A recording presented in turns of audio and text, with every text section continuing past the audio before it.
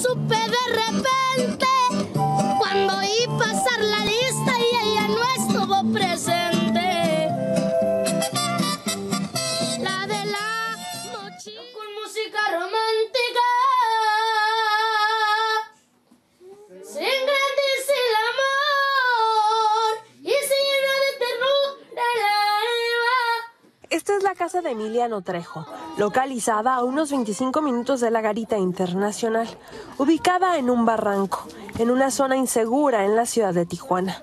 Emiliano tiene 12 años y canta en la línea. Originario de Guadalajara, tiene apenas un año viviendo en esta ciudad fronteriza. Pues mi nombre es Emiliano, eh, soy de soy ciudadano de Guadalajara eh, y ahorita estoy viviendo aquí en Tijuana, pero mi nombre, como les digo, es Emiliano y aquí andamos con la familia.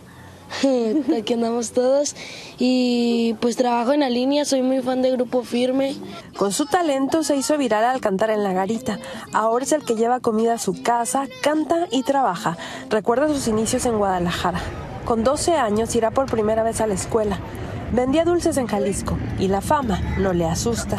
No, pues la verdad es normal. Yo pues yo no me gusta mucho la fama, pero no soy este así como varios eh, que se les sube. No, yo no estoy de esos, pero me siento igual, casi igual. Oye, ¿y la escuela?